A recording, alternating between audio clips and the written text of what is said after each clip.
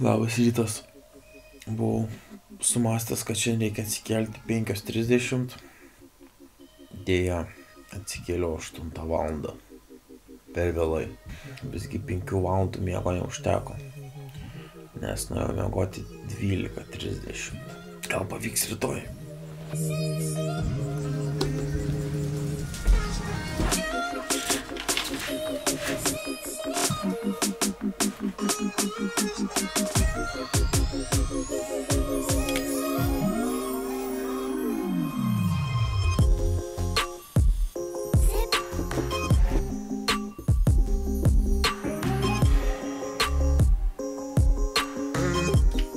šiandien paprastas gan planas.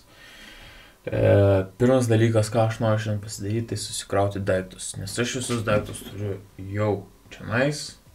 Turim svarstyklės, turim tašę, turim kuprinę. Galim susikrauti visą registruotą bagažą. Nugaros bagažą, tą lėktuvinį bagažą, kur gabensiuosi su savimi. Tai bus iš tiesų šita elektronika, dronas, šito dalyko nesversiu, bet aš noriu pasverti šitus dalykus, šitą dalyką čia ir susikrauti viską į šitą va šitą kuprinę ir bandyti pasižiūrėti, kiek tilps.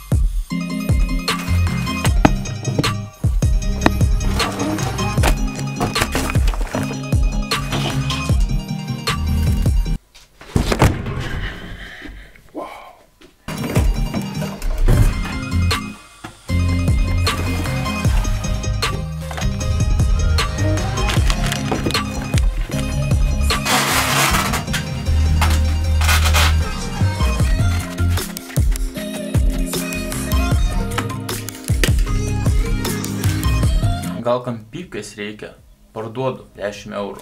Medinį, tada tėtis iš darbo atnešė, taip ir guli jau 10 metų pas manimi.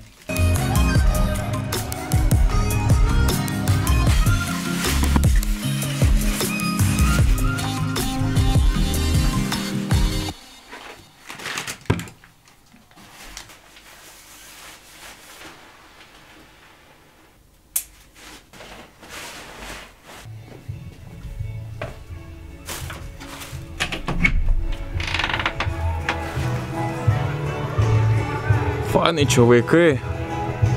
Kala estafečių. Ten kažkoks traukimas, krepšinis. Čia tipo su slidėm. Estafetė čia žinėja.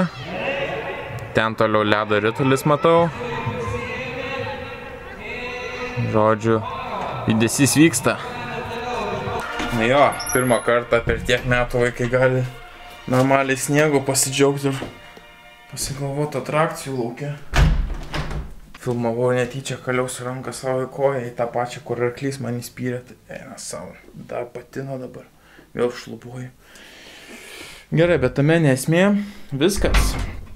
Tada daiktai sukrauti, šiaip labai patenkintas, verta buvo 7 litrų imti, tai iš tiesų aš dar galėčiau kokį 15-20 cm pakrautą aukštynės. Čia nais eina va, dar šitas krepšys, kuris gali irgi prisipildyti. Nais dirželį atsipalaiduoja ir tada tas uždengimas pakyla tiek ir viskas čia su jie tvarkoj. Čia nais rūbai, kuriuos aš renksiuosi į kelionę. Čia apsirengimas visas mano, pukinė striukė.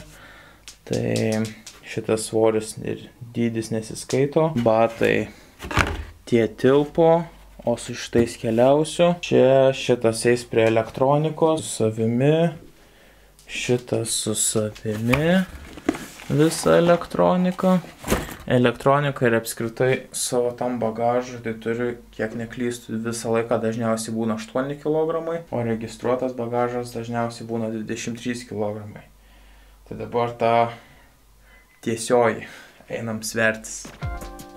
Eina savo senais vėriausi.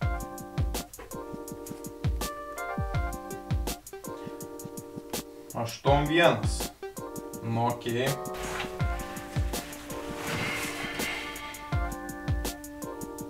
Devym penki kablelis šeši.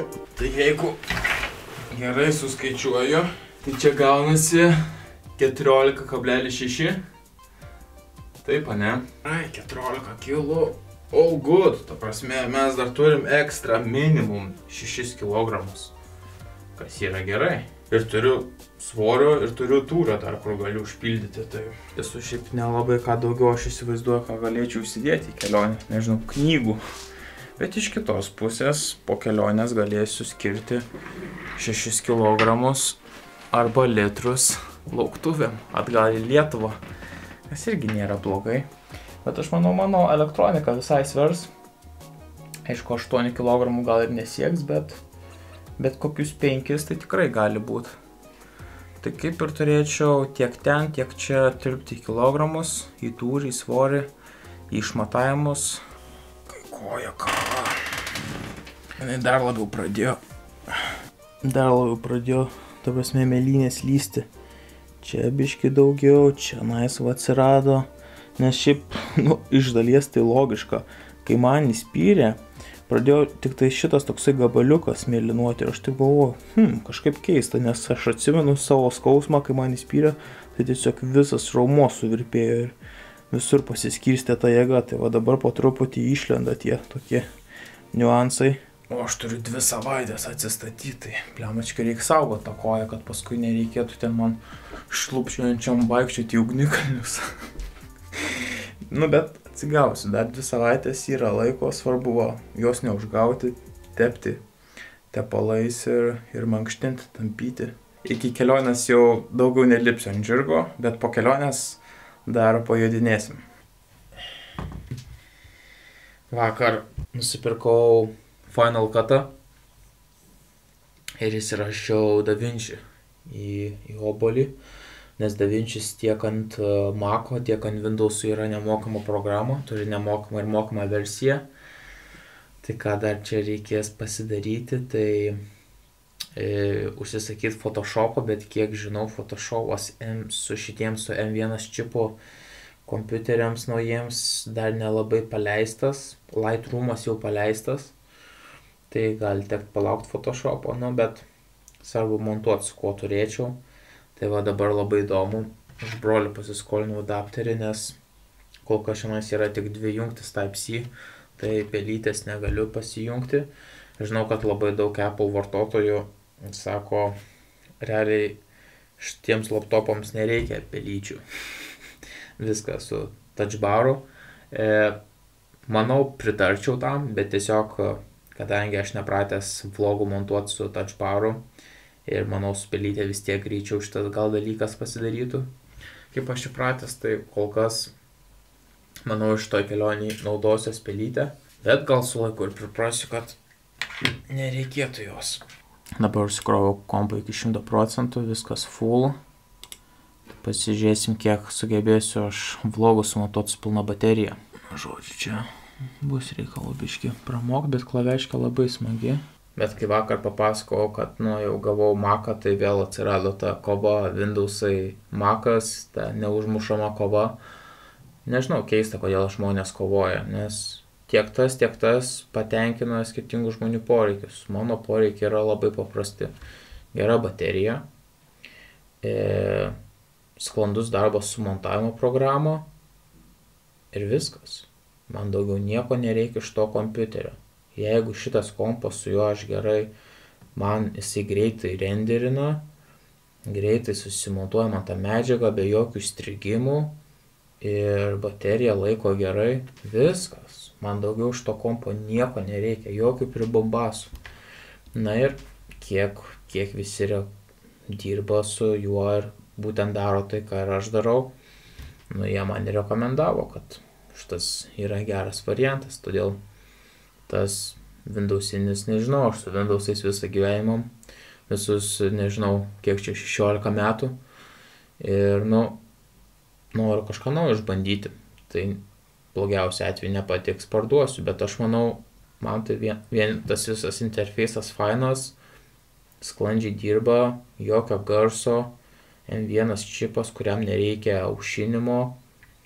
Nu, ką žinau, pradėsiu dirbti, matysiu, kas gerai, kas blogai, kas patinka, kas nepatinka. Tai nelabai suprantu, kodėl žmonės taip pykstasi, kuris geresnis, kuris anas. Vienas geresnis tuom, kitas geresnis anuom. Tai čia visą laiką tai bus. Nėra jokio daikto tobulo. Čia turbūt apskritai visoje rinkoje, ne tik kalbant apie kompiuterius.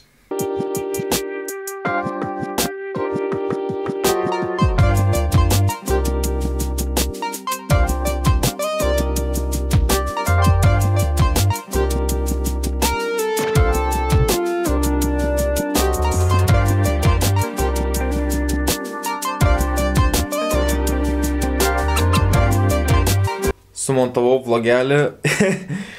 Žinokit, aš apšalęs. Tu prasme, vlogas užtruko, vlogo trukmė yra 13 minučių 22 sekundės ir vlogas sumontavo, surenderino per 2 minutės. Jūs rimtai, jūs rimtai per 2 minutės, o kompiuterio baterija 88.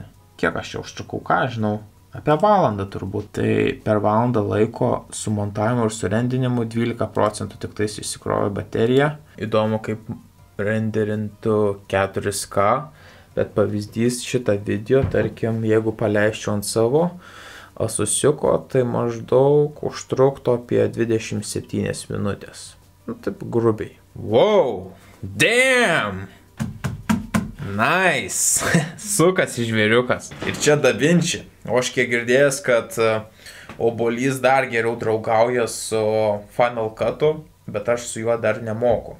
Žinau, kad, nu, ta prasme, reikia pasimokyti, reikia biški praeiti tutorialų, YouTube'ai, pasižiūrinėti. Ir tada reikia pradėti mokytis su, tų, su, ta, su Final Cut'u. Norėčiau šiaip išmokti. Nes kiek girdėjau, jisai labiausiai ryšasi su oboliu ir greičiausiai dirba su oboliu. Tai jeigu čia dvi minutės, tai ar jisai gali dar greičiau išspausti? Wow, čia yra wow.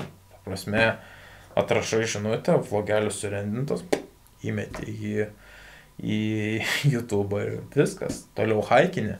Galim pasižiūrėti, kiek tas uh, failas užima vietos. Nesudėtingai, bet reikia priprasti. Uh, 1,4 GB. 1,43 GB per 2 minutės. Šaika, aš sužavėtas. O, vaikai musikuoja man. Fanai.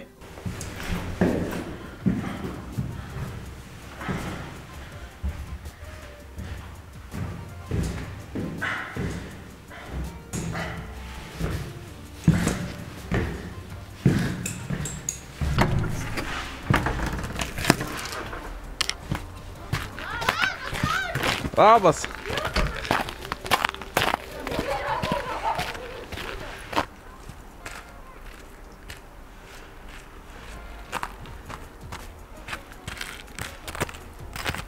Lemba.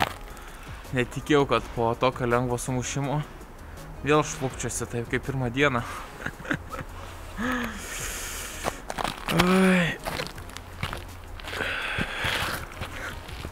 Dabar svarbiausia ledo nepaslyst. Nueit siuntinį pasimti ir saugiai grįžti. Jaučiuosi kaip senukas.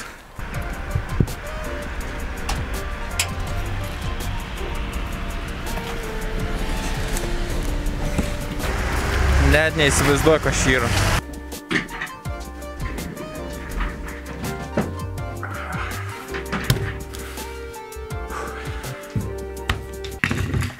Um, kas čia yra? Kas čia dėžė?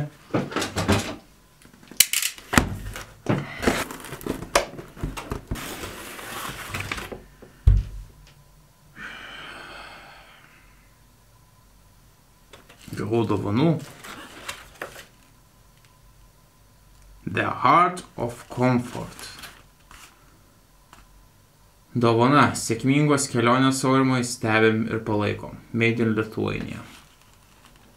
Ačiū. A.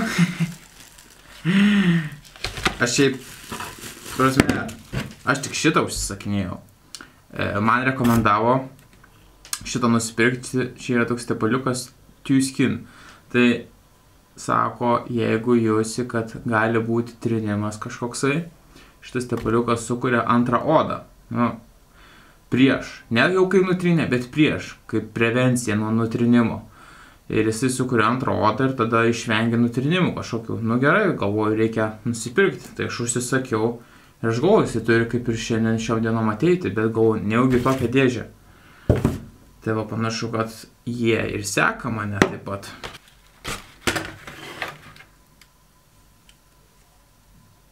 Ačiū labai. Dabar einu nuo savo namo. Spėkit, kas parašė. E, parašė Lietuvos rekordų knygą.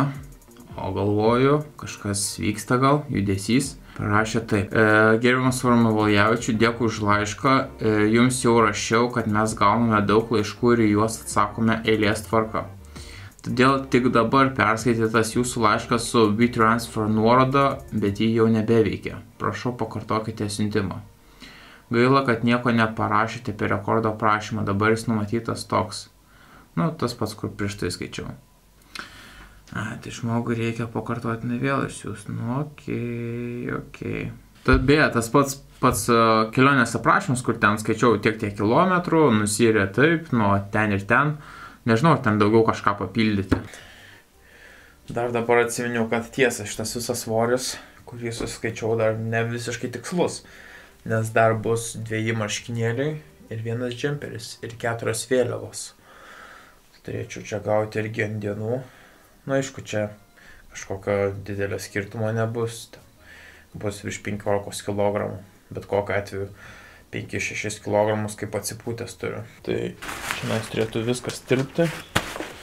Turint omeny, kad šito net skyrius visiškai neužpildžiau. Tai šitą skyrių dar galim užpildyti. Plius čia dar galima iki pat viršaus.